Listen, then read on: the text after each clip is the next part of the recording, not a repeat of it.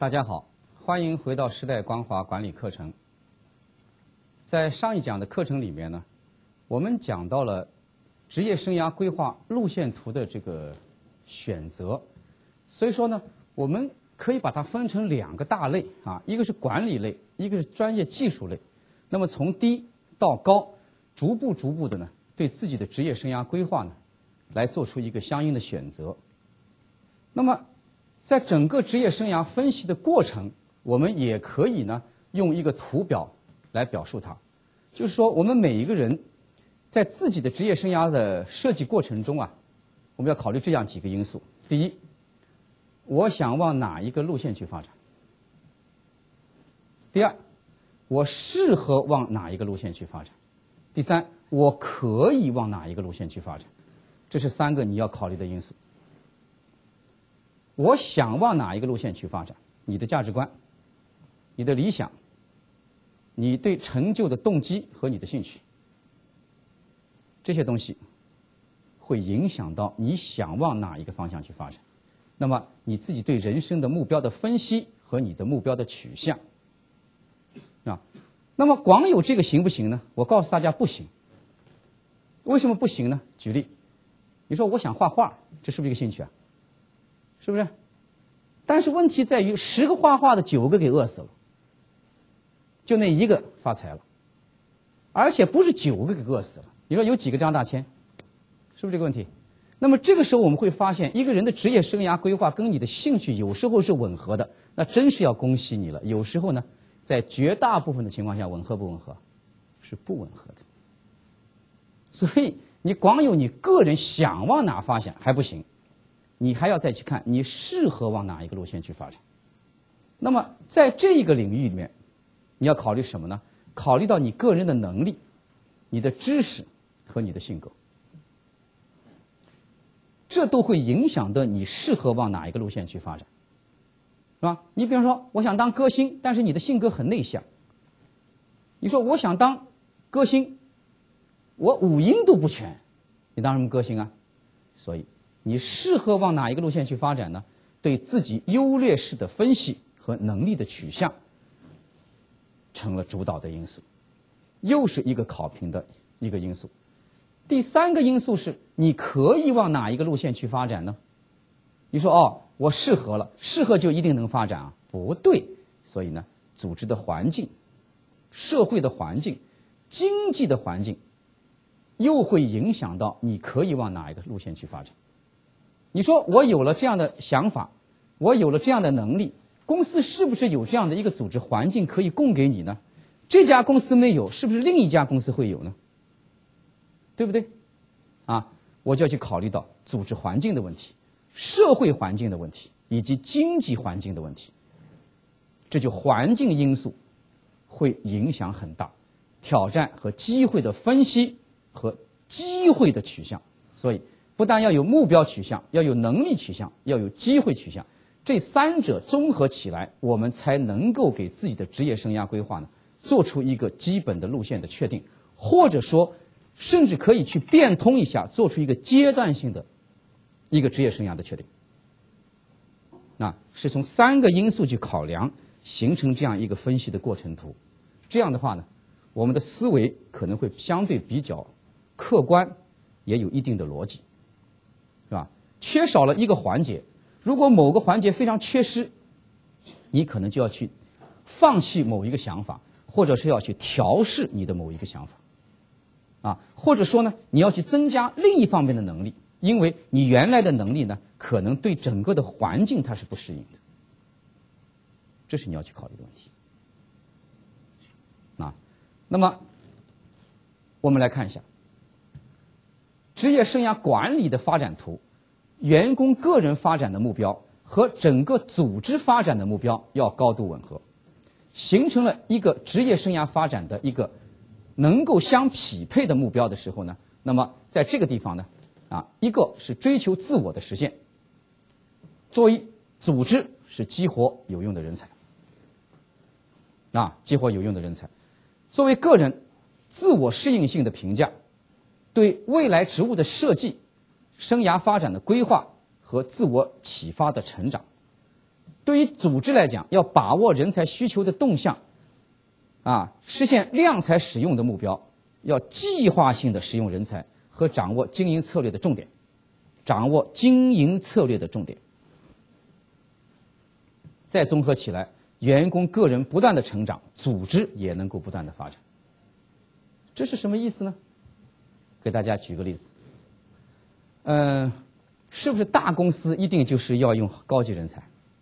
是不是？不是。呃，深圳有一家公司叫富士康，有没有听说过？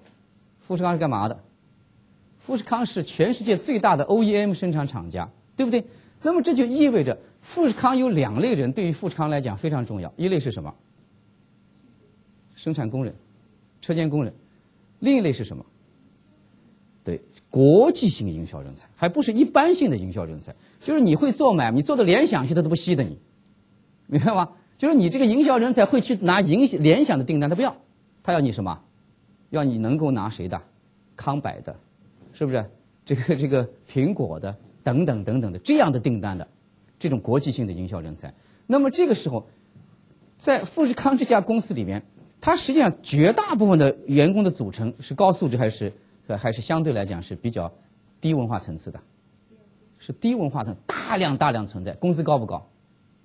工资很低，千万不要以为大公司就是人才济济，大公司就是工资很高。对不起，富士康那些工人工资是属于在深圳市市里面都属于什么？中等偏下的，或者是中等的，他不需要有个很高，因为什么？稳定，福利待遇各方面都很好，是不是？公司很大，学到本事，他不需要有个高工资，但是他有一个某些人极少极少的人的工资高的一塌糊涂，什么人？什么人？就是我刚才讲的第二类人，就是可以接国际性的市场营销的这些专业人才，人数非常少，待遇怎么样？非常高，所以这个时候我们要去看到一个什么概念呢？就是说，整个公司的经营策略的重点在什么地方？啊，根据公司经营策略的重点，你才能够知道整个公司的人力资源的需求。不是说我公司大了，我一定要请很多博士，请很多硕士，啊，请很多大学生，这个不可能。你人才人才的这个，它本身就是它的学历的浪费。或者是他的资源的这种浪费，是吧？他的资历的浪费都不可以的。所以呢，整个的职业生涯的管理同样是从两个方面来进行管理：从员工个人和整个公司的组织两方面来进行综合的管理的时候呢，才能够实现的一个双赢的局面，是吧？公司要考虑我的发展，员工要考虑。自己的发展和公司的发展的匹配性，如果这种匹配性能够真的很好的匹配，员工就可以不断的成长，组织也能够不断的发展，是吧？所以我们可以看到，像富士康这样的公司，它最终培养出来很多员工都是非常非常优秀的什么员工？一线生产，是不是？技术，对不对？生产管理，品质控制，那都是超顶级的。走到任何一家公司去，那都了不得，是不是？他们一样会有很好很好的发展空间，哈哈，不一定非要去当什么，不一定非要去当什么什么工程师啊，诸如此类这些东西的，啊，我们再来看职业生涯发展的方向、途径和规划的管理，生涯阶段的划分，探索期。这是我们已经讲过的，在正式工作之前，你就应该开始探索了。我们国内的企业的问题在哪里呢？往往是工作以后才开始探索，恐怕就会费费时失事了。啊，我们会建议我们的呃这个应该是子女了，是吧？啊，现在已经有点来不及，是什么时候呢？读中学的时候就开始探索，高中开始是不是？干嘛？干什么？暑期工，对不对？想办法去暑期工，不给钱也去干活，千万不要搞的什么东西呢？搞暑期工啊，玩儿，啊，暑期工的时候有几个地方去，我介绍你。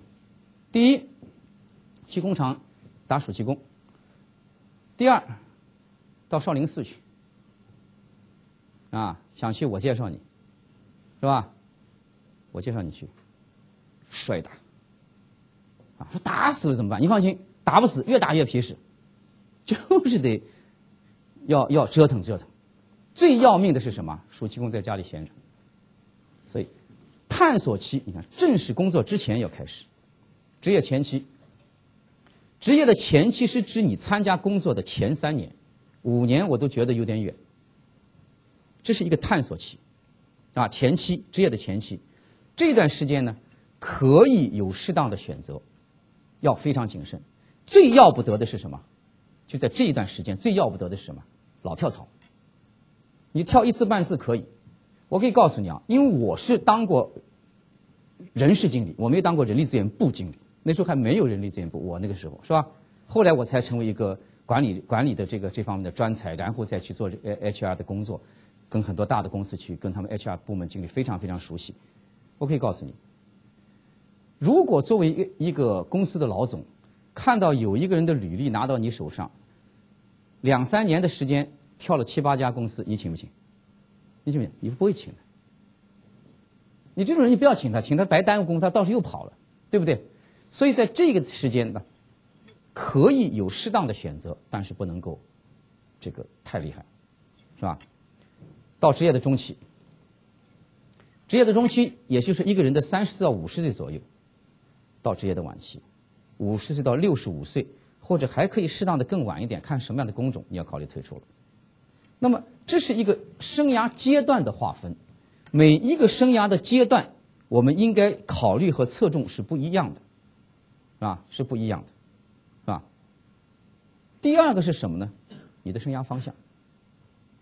生涯的方向有几个方向？那技术型、管理型、创造型、独立型、安全型，是吧？有这样的几个方向。那么这个呢，也是我们在课程中反复反复的强调，不是每一个人都可以去当官的，有的人呢可以走技术的路线。有的人呢可以走管理的路线，有的人呢可以做研发的路线，有的人呢他很可能是可以去做一个独立的。你看我当特务是不是很独立啊？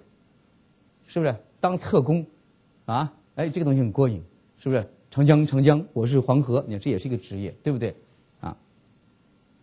安全性。所以你可以考虑呢，整个职业发展生涯的这个一些。不同的方向，有的人可能他不是特别近，他希望有一个非常非常稳定就可以了，是吧？他不需要有太大的太大的这个发展。那么职业生涯规划的一个途径，第一，心态，心态，心态一定要正确。第二，学习，啊，选择学习的领域。第三。善用学习的渠道，采用有效的方法，突破思考的盲点。我们讲了半天，哎，回到这儿了，选择正确的心态，是吧？很多人的心态不正确，想入非非，我要当歌星，你能当歌星吗？你不能当歌。我要当演员，你能当演员吗？是吧？不一定你能当演员。我要开飞机，我要。做杨利伟，你的心态是否合适？是吧？所以我再一次强调，在很多很多的情况下，大部分的人他最终所选择的职业跟他的兴趣无关，但是在工作的过程中，很可能又培养出他的兴趣。只有极少数人很幸运，他既喜欢这个东西，他又从事着这个工作。还能赚钱，是不是？比方说画家，他很喜欢画画，哎，画的画又很能卖钱，哎呦，我说他太幸福了。但十有九个画家什么概念？画出来的画根本没人买，是吧？弄点钱全买了颜料了，涂到板上没人要，这就是大问题，是吧？这就是大问题。你说我喜欢站在这讲课吗？我自己检讨过，我不喜欢。讲的口干舌燥，是不是？那我喜欢干嘛？我喜欢骑马，那是不是？那我开马场，我开马场能养活我吗？不能，所以我不能去当马场的弼马温，我我得戳在这儿。欢迎进入时代光华管理课程。欢迎进入时代光华管理课程。欢迎进入时代光华管理课程。学习、共享、成长，时代光华。心态要正确。好了，心态正确，选择正确了，我们讲了，学习的领域是不是就可以被锁定？是不是？我的发展的方向恰恰就是我学习的领域。我其他东西我不去学，所以为什么我们赞成的是自助餐式的培训？我们不是很建议的是大锅饭式的培训。道理就在这里。中国现在大部分企业的培训是大锅饭的，大锅饭的学习呢，大最大的问题在哪里呢？就是可能令到我们逼到你去学习，实际上你要学的东西不是你想要的东西，有没有可能？啊，比方说我不知道，比方说今天我们在座的，如果里面有一个工程师，里面还有个搞市场营销的，你来听这个课有用吗？可能用处就小一点，可能也会有一点用，但是更多的我们做做 HR 的，可能我们就觉得挺有用，是吧？如果做工程师的、做市场营销的，听我前面的四个部分，他觉得挺过瘾，听到这儿他已经不愿意听了，有没有可能？跟他没关系，是不是？这是 HR 经理要去做的事情。善用学习的渠道，渠道采用有效的方法突破思考的盲点。啊，职业生涯规划和管理之间的关系，我们在这里呢就不一一去读它出来啊。定期的检讨、培训和协调讨论啊，这个跨行业的学习、开创新的机会、提供考核。等等等等的，我们都有一些在这里呢，给大家一些提示，给大家提示，是吧？整个的一个职业生涯的规划，怎么样去进行有效的管理？这里边其实有一个非常重要的东西在哪里呢？就是要沟通，就是不断的去沟通公司的使命、公司的战略，啊，这是永恒而又永恒的主题，什么东西都离不开这个东西，离开了这个东西，整个公司的职业生涯规划也好。流程也好，组织也好，人力资源也好，通通是没有用的，通通要跟公司的战略相匹配、相挂钩，啊，匹配和挂钩。所以，从个人到直线经理到公司，都要有责任对职业生涯规划进行有效的管理，啊。那么，具体怎么样进行管理呢？四个部分：职业生涯的诊断。职业生涯的目标和标准，职业生涯发展的策略，职业生涯的管理，啊，自我分析、环境分析、关键成就因素分析、关键问题分析，职业发展的周期、职业发展的目标、职业发展成功的标准、职业发展的途径、职业发展的角色的转换、职业发展能力的提升，是吧？还有职业发展的方案。职业生涯发展的文件，最后把它形成文件，啊，形成文件。所以，员工的职业职业生涯的各种不同的阶段的特征是什么呢？我们如果用一个矩阵图去表述它的时候呢，它实际上是很简单，有四个矩阵：介入阶段、成长阶段、成熟阶段和饱和阶段。那么我们可以看到，最有价值的。是成长阶段，是吧？到这个地方，它的价值开始减弱，要开始考虑退出。所以呢，介入阶段、成长阶段、成熟阶段和饱和阶段，这是四个矩阵。它对于个人和企业的价值，我们可以看到呢，右上角怎么样？是最最有价值的。左下角呢，价值相对是最弱的。所以刚刚进入公司的时候，有没有价值？有价值，有冲劲，是吧？有干劲，缺什么？缺能力，是不是？有愿力，缺能力。到了这个地方呢，能力和愿力都有了。到了这个地方呢，有能力，愿力是不是就下降了？到了这个地方呢，啊，七老八十，能力、愿力全没了，是不是？他都有，他都有不同的这个领域啊。所以，员工职业生涯的一般的规律是什么呢？就是第一，你刚刚进入一个组织。第二呢，从专才逐步转变为通才，你很多事情都会了。尤其在日本的公司，它非职业生涯设计是吧？你懂了很多东西。第三个可能性，从技术向管理工作转变。第四，这是一种心态的转变，从一心扑到工作到开始关心家庭，是吧？哎，这是一个非常非常有趣的转变，心态开始转了。有的人年轻人根本不顾家，会不会？我年轻的时候就是这样，我根本不回家。你让我回家就像杀了我一样，我就不愿意回家，我就睡在工厂。我在工厂里面，我就有个小扑克卷儿，我就跟他打打地铺，是吧？跟着一帮兄弟晚上喝啤酒，特别特别的过瘾。我回家觉得不好玩儿，哎，慢慢慢慢的就不行了，脑子想，哎，哎，我老婆怎么样？哎，我孩子怎么样？哎，心态开始改变。啊，从垂直上升到水平飞行，明不明白这个意思？本来是什么？老在升官，老在升官，老在升官，升升了没官升了，对不对？是不是就开始平行移动了？这个东西我本人就很有感触。我在香港的时候啊，我从一个工人，真是像坐直升机一样，一个从大陆去的一个人啊，能在香港一个这么大的公司这么升，应该说也不是太多。我自己觉得啊，从一个工人、工段长、车间主任，几年就呼呼呼往上升，升到最后升到顶了，是吧？升到顶了，在这家大公司还能不能升了？就不能升了，不不能升怎么办？就开始平着走，我就变成从生产总监变成什么了？变成了这个市场总监。那个时候非常不同，思想很不同。我觉得我干了这么多年生产，了如指掌，公司里面所有的生产系统都归我管，我觉得我是不可或缺的。老板特别奇怪，就愣把我从生产岗位拿下来，让我到市场部去。我想不通，我说是不是我干的不好？说真不，你干的很好。我说那你为什么要把我弄掉？他老板说：“你现在不要问我，啊，过一年你再来问我。如果你还想不通的时候，你再来跟我谈话。过一年我早都想通，为什么？我干干的开心死了。我一听到有生意做，一听说谈生意有买卖做，我眼睛都能绿了，是吧？所以为什么讲，我不但能够讲一些管理类的课程，呃，下一步我还要录一部分的课程是什么？市场营销的，是吧？为什么我要去录市场营销的课程呢？我有这个经历，我最后做了七年市场营销总监。”在我自己的集团公司非常开心，而且这七年对我的锻炼是相当相当大的。因为什么呢？做生产部总监的时候，是不是就像煮饭一样，一天到晚在公司里窝着？